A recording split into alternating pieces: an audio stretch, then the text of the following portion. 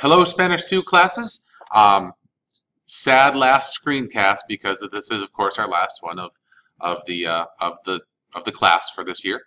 Um, section 10.3, and there's very little new grammar. We're just going to be looking at one specific irregular verb in the preterite tense, as well as a, a smattering of some new vocabulary as well. So I'll walk you through the process, and if any of you were absent, this is a great way to um, look and see what we missed. And if any of you want to get a uh, a head start on things going into our second to last chapter. This is a great way to do it. Also, a quick note, this is the last, like I said, this is the last screencast, but it isn't our last actual lesson. We will be moving on one more afterwards in this.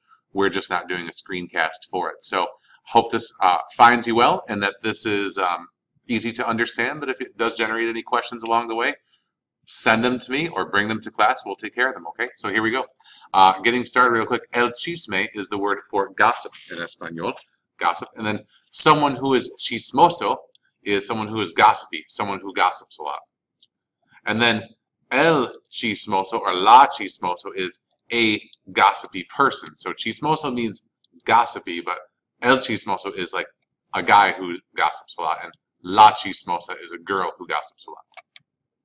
Cuéntamelo means is another way of saying tell me, just like the word dime also means tell me. So one is like account for it to me, and this one just literally means tell me. But they both are actually the same meaning. Okay, they're synonymous phrases. Estar furioso means uh, to be furious. Estar furioso, or to be angry. Fíjate means imagine that. Hacer las paces means to make up, or like to make up with someone. Leí que means I read that. All right, so I read something. Leí que. Obviously, that's a sentence fragment. El metiche or la metiche are both ways of referring to someone as always um, on the move, or a busybody is the actual word for that, actually. El metiche is a guy who's a busybody. La metiche, a girl who's a busybody.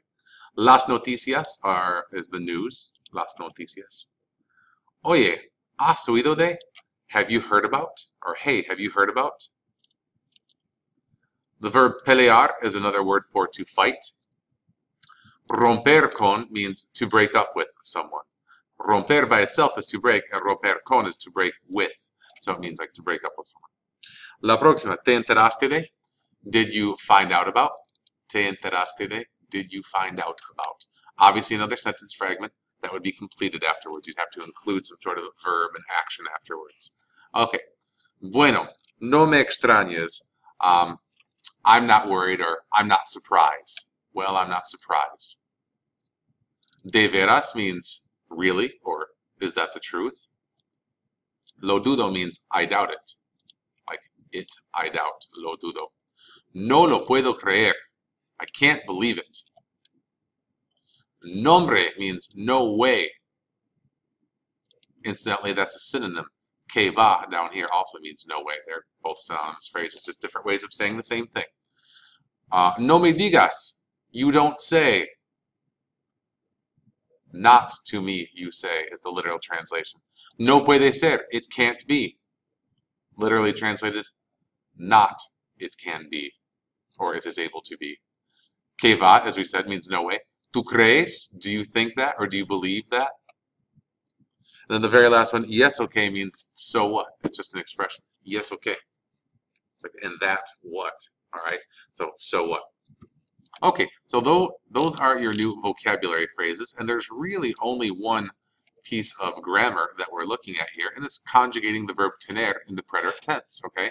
So, here we go, very quickly tener en el pretérito. So these conjugations don't mean I have, you have, he or she has. Instead, they mean I had, you had, he or she had, we had, you all had, or they had. Again, uh, conjugations would be yo tuve, tú tuviste, él, ella, usted tuvo, nosotros tuvimos, vosotros tuvisteis, ellos, ellas y ustedes tuvieron y eso es todo. And that is the whole thing, okay? Um, last opportunity for extra credit will be to write five sentences using the conjugation of tener and some new vocabulary for me. Five sentences, both in English and Spanish, on a note card. Give them to me on Monday and you'll be good to go. Okay. Uh, again, thanks for tuning in this year and watching these. Um, I think that it's something that can be very beneficial for you. You can always go back. For those of you who are moving on to Spanish 3, these will remain on our channel all summer long. So if you wish to go back and review a little bit before uh, heading into Spanish 3, this is a great tool for you. It'll be, like I said, it'll be left up all summer. Ciao, hasta luego, y adios.